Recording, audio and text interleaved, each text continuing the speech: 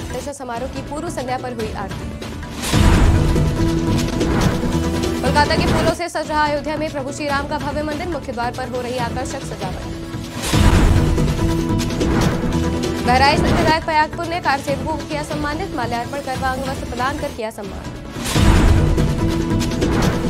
महोबा का पान राम मंदिर प्राण प्रतिष्ठा के अनुष्ठान में शामिल भगवान के चरणों में अर्पित होगा देशावरी पान। झांसी के गरौठा तहसील अंतर्गत एरस नगर को बड़ी सौगात। बेतवा नदी के किनारे चार दशमलव छह पाँच करोड़ से बनेगा मड़िया घाट। नमस्कार, स्वागत है आपका। आज की खबर में मैं हूँ आपके साथ महिमा शर्मा। रुक करते उत्तर प्रदेश की बड़ी खबरों की ओर।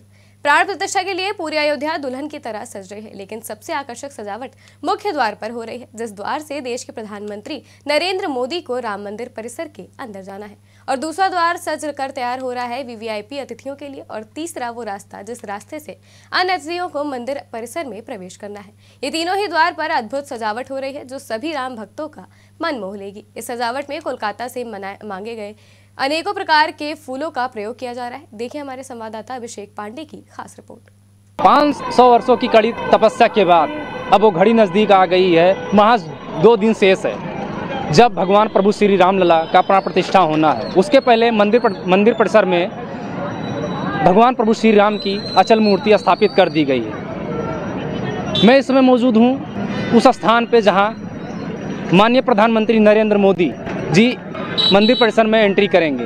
हमारे पीछे सात तस्वीरों में देख सकते हैं, वह या वही गेट है, जहाँ पे कलकत्ता से आए फूलों से गेट को सजाया गया है और प्रभु श्री राम के बाल स्वरूप प्रतिमा को लगाया गया है। आप देख सकते हैं कि गेट को किस तरह से, सजाया गया है। यही नहीं, अब पूरी अयोध्या त्रेता युग की तरह राममय हो गई है। और उससे सुंदर नज़ारा 22 जनवरी को देखने को मिलेगा। जितने भी गेट हैं, सब अलग अलग तरीके सजाए गए हैं अलग अलग डिज़ाइन दी गई हैं। ये मेन गेट है, जिसे प्र- प्रधानमंत्री नरेंद्र मोदी एंट्री करेंगे और इस गेट को एक भव्य रूप दिया गया है।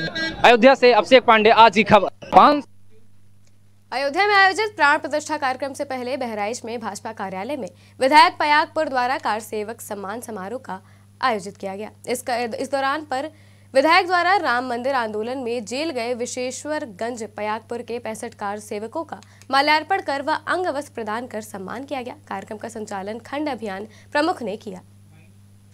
कि यहाँ आज हमने उन सभी कार्य सेवकों का सम्मान किया जो हमारे विशेषकर रायपुर क्षेत्र के थे। 1990 में माननीय लाल कृष्ण आडवाणी जी की बिहार में गिरफ्तारी के उपरांत जेलों में बंद थे।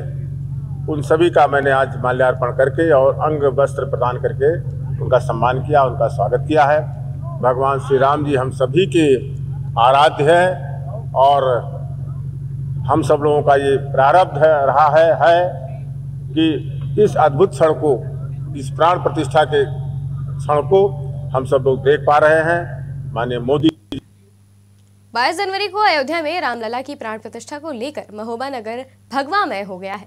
खंभों में लगे भगवान राम के झंडे महोबा नगर की शोभा बढ़ा रहे हैं। तो वहीं दूसरी ओर दर्जनों राम भक्त कीर्तन के माध्यम से शहर के मोहल्लों में घूम घूम कर भगवान श्री राम का गुणगान कर रहे हैं। इसके साथ ही महोबा का सुप्रसिद्ध देशावरी पान रामलला के पूजन के लिए दो संतों के माध्यम से अयोध्या भेजा गया है। बता दें कि 500 साल के लंबे इंतज़ार के बाद अयोध्या में भगवान राम की प्राण प्रतिष्ठा से सनातन धर्म के अनुयायियों में खुशी की लहर है। देश के प्रधानमंत्री सहित समूचे विश्व में रहने वाले तमाम सनातन धर्म को मानने वाले लोग इस ऐतिहासिक पल का गवाह बनने का अयोध्या पहुँच रहे हैं। साथ ही महोबा का देशावरी पान भी इस पल का साक्षी बनने जा रहा है। 500 वर्षों के संघर्ष के बाद में प्रभु श्री राम की जन्मभूमि, प्रभु श्री राम के लड़े की जो है ना प्राण प्रतिष्ठा का समय है। इस समय अपने महोबा से जो है, यहाँ का जो सुप्रसिद्ध देशावरी पान है, यह पान उस पूजा में प्रयोग होने वाला है, जो महोबा के किसान भाइयों, पान किसान भाइयों के द्वारा यहाँ से भेजा गया, प्रमुख संत इसको लेके गए। तो हम सभी महोबा किसान भाइयों के लिए, पूरे महोबा के लिए हर्ष का विषय है कि हमारा पान इतने संघर्ष के समय में जो मंदिर तैयार हो रहा है वहाँ पर प्रयोग होने वाला है। ऐसे समय में सभी महोबा के लिए बहुत हर्ष का विषय है। झांसी के गरौठा विधायक जवाहरलाल राजपूत की पहल पर एरस नगर को बड़ी सौगात मिली है। एरस नगर में स्थित मड़िया घाट के निर्माण के लिए उत्तर प्रदेश सरकार ने चार करोड़ पैंसठ लाख की धनराशि की। प्रशासकीय और वित्तीय अनुमति के साथ निर्माण कार्य शुरू करने के लिए तीन करोड़ बीस लाख रुपए की पहली किश्त जारी कर दी है। इसके लिए विभागीय स्तर पर टेंडर प्रक्रिया भी शुरू कर दी गई है। बता दें कि गरौठा विधायक जवाहरलाल राजपूत लंबे समय से एरस नगर के बेतवा नदी पर स्थित मड़िया घाट के निर्माण कार्य सौंदर्यीकरण के लिए शासन स्तर से प्रस्ताव पास कराने में लगे थे। ये हम लोग पावन बेतवा जी के तट पर खड़े हैं, जहाँ पर मड़िया घाट नाम से स्थान को जाना जाता है। और श्री भक्त प्रहलाद जन कल्याण संस्थान ने यहाँ के क्षेत्रीय विधायक माननीय श्री जवाहरलाल राजपूत जी से पत्राचार के माध्यम से आग्रह किया था कि इस जगह एक पक्के घाट का निर्माण हो जाए, ताकि यहाँ जो संध्याकालीन बेला में महाआरती होती है माँ बेतवा जी की यहाँ श्रद्धालु सुबह प्रातः काल से नहाने धोने के लिए आते हैं पूजा पाठ करते हैं तो उनको ये एक व्यवस्थित रूप से यहाँ पक्का घाट बन जाए, ताकि सबको सुविधाजनक तरीके से ये पूजा पाठ करने में आराम मिले। और यहाँ की जो श्रद्धा है, यहाँ का जो महत्व है, माननीय विधायक जी ने इसको बड़ी ही गंभीरता से लेकर के प्रदेश के यशस्वी मुख्यमंत्री माननीय श्री योगी आदित्यनाथ जी से एरच के इस महत्व को लेकर के चर्चा की। विधानसभा में भी माननीय विधायक जी ने इस विषय को रखा और पर्यटन विभाग अंबेडकर नगर के वाडर थाना के पास जिलाधिकारी ने मुख्य विकास अधिकारी, अपर जिलाधिकारी, जिला विकास अधिकारी, क्षेत्र अधिकारी तथा तहसीलदार के साथ साफ़ सफ़ाई और सुरक्षा व्यवस्था का निरीक्षण किया। निरीक्षण के दौरान जिलाधिकारी ने संबंधित अधिकारियों को निर्देशित किया कि दूर दूर से आने वाले श्रद्धालुओं को किसी भी प्रकार की कोई दिक्कत न हो। इसके लिए सुरक्षा व्यवस्था के पुख्ता इंतज़ाम किए जाए तथा दूर दराज से आए हुए श्रद्धालुओं को विश्राम की व्यवस्था, भोजन की व्यवस्था सुनिश्चित की जाए। सपा अनुसूचित मोर्चा के राष्ट्रीय अध्यक्ष राहुल भारती बदायूं पहुँचे। साथ ही लखनऊ से शुरू हुई सपा की यात्रा भी बदायूं पहुँची। इस दौरान राहुल भारती ने मीडिया से बातचीत की और कहा कि मैं डिप्टी सीएम केशव प्रसाद मौर्य के सवालों के जवाब देना ज़रूरी नहीं समझता। उनके बयान बच्चों जैसे होते हैं। ऐसा लगता है जैसे कोई बच्चा बातें कर रहा हो। उन्होंने कहा कि सपा की ये यात्रा लखनऊ से शुरू हुई है, जो गाजियाबाद तक जाएगी। इस यात्रा का उद्देश्य पीडीए को उनका हक दिलाना है।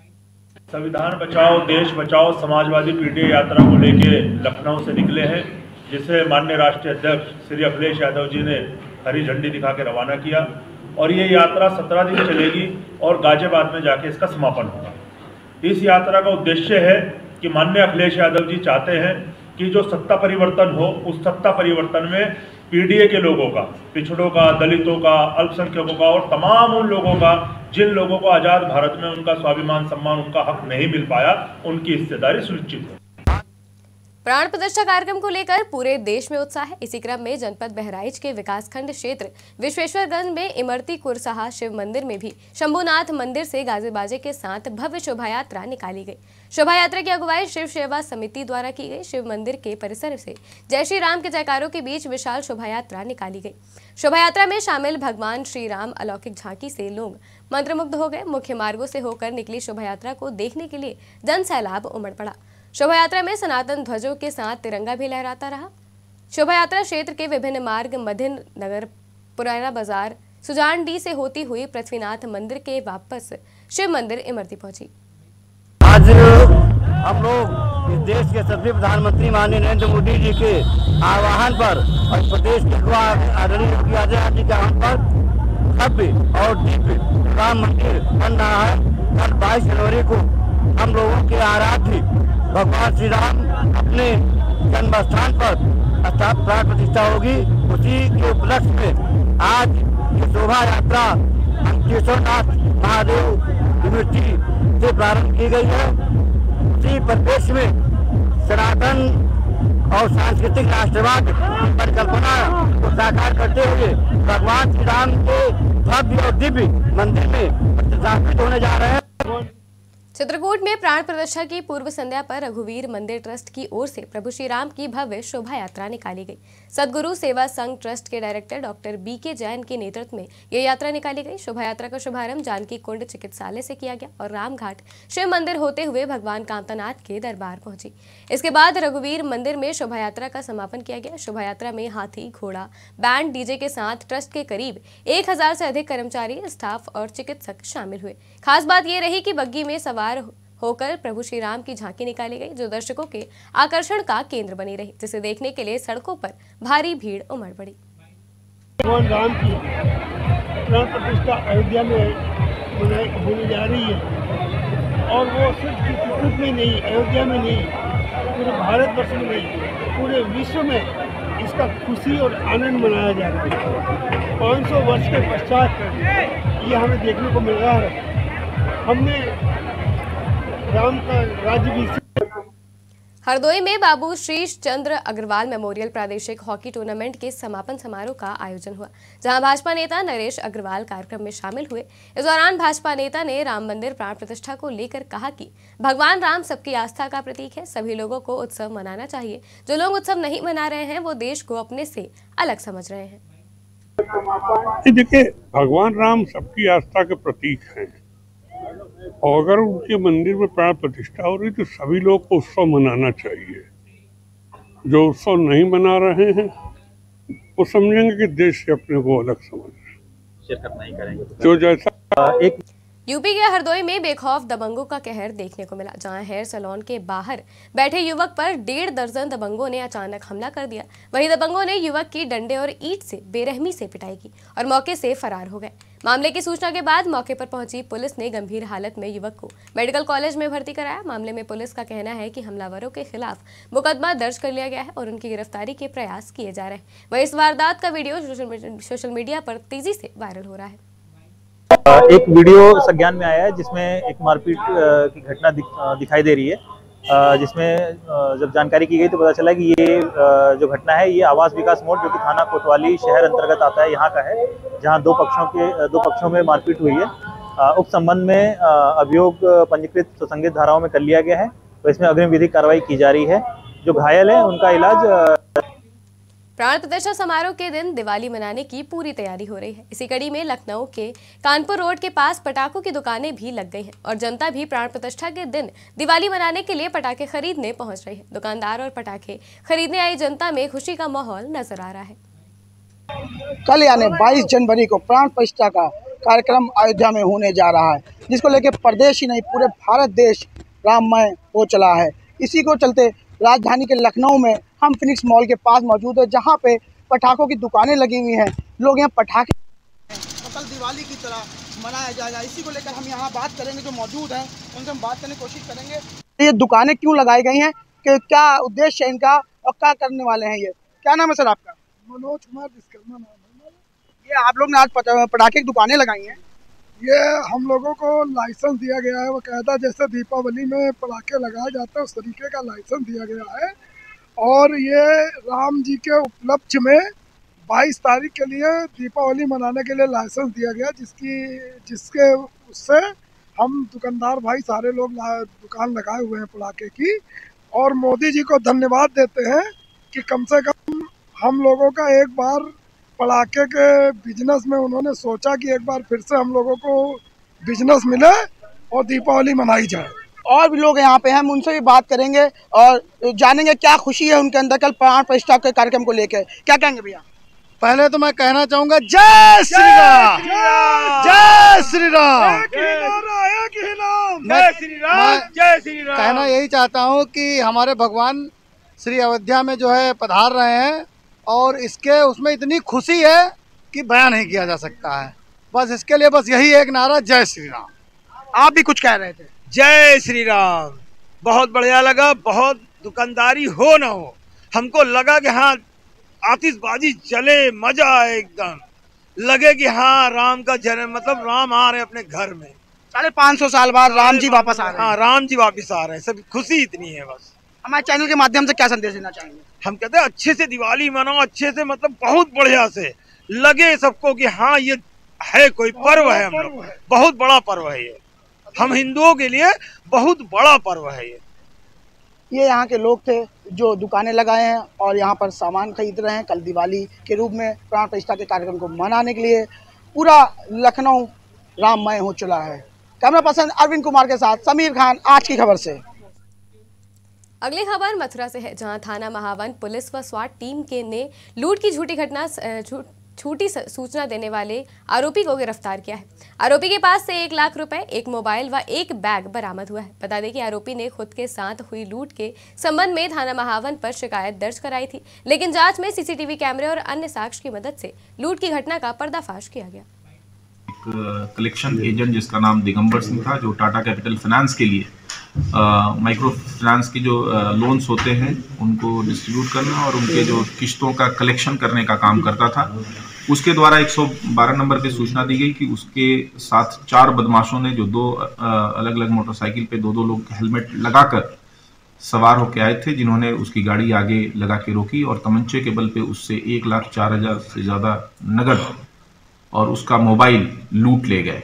प्राप्त सूचना पे तत्काल अभियोग पंजीकृत किया गया था, परंतु इसमें जो police team S P R A C O Mahavan और एस ओ महावन की जो टीम थी, इन्होंने एक सराहनीय कार्य करते हुए इस पूरे घटना का रहस्योद्घाटन किया और इसमें ये पता चला कि किसी तरह की लूट की घटना नहीं हुई थी और इस कर्मचारी ने ही इस उक्त कंपनी के माल को गमन करने के उद्देश्य से लूट की झूठी सूचना दी थी।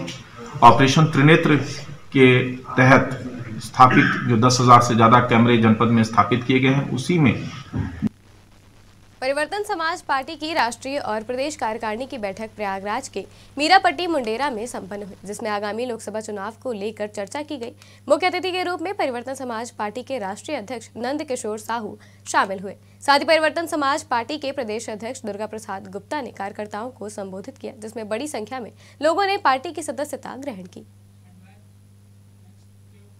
सहारनपुर में पुलिस ने मंडी क्षेत्र में 16 जनवरी को घर के भीतर हुई लूटपाट की घटना का सफल खुलासा किया है, जहाँ पुलिस ने मुठभेड़ के बाद चार बदमाशों को गिरफ़्तार किया। इस दौरान मुठभेड़ में एक बदमाश घायल हो गया, जिसे इलाज के लिए जिला अस्पताल भेजा गया।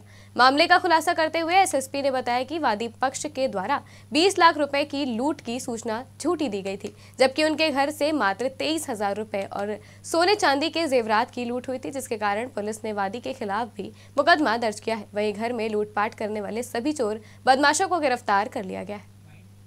करीब चार दिन पूर्व थाना मंडी में सूचना प्राप्त हुई। एक लकड़ी व्यापारी है फुरकान। उनके यहाँ पर चार अभियुक्तों ने मिलकर सुबह सात बजे करीब लूट की घटना कारित की है।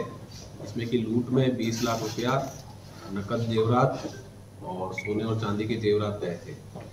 इस पर पुलिस ने तत्काल मौके पर पहुँची, सभी अधिकारीगण मौके पर पहुँचे और जो दी गई तहरीर है, उस पर मुकदमा दर्ज कर पुलिस ने अपराधियों की धरपकड़ की कार्यवाही शुरू की। इस घटना का अनावरण करते हुए पुलिस ने तीन दिवस के भीतर ही चारों आरोपियों को गिरफ़्तार किया है और जो आरोपी गिरफ़्तार हुए हैं, उनसे जो सोने और चांदी के जेवरात हैं, वो भी बरामद हुए हैं। उत्तर प्रदेश की खबरों में फ़िलहाल इतना ही। देश और दुनिया की तमाम खबरों के लिए देखते रहिए आज की खबर। Thank you.